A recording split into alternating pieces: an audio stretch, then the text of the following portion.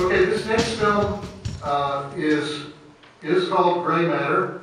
It was made in uh, well, first of all, the story by Stephen King was first published in 1973 in Cavalier magazine. Once again, uh, it was collected in Night Shift in 1978. And the film version was made in 2012 in uh, Long Beach and Orange County uh, by James B. Cox, who is one of the co-organizers of this very festival. So thank you, James, for putting this thing together. After the screening, as I said, uh, James Cox and Rob Patterson uh, will both uh, be on the panel, and that panel will be immediately following the movie. So without further ado, Gray Matter.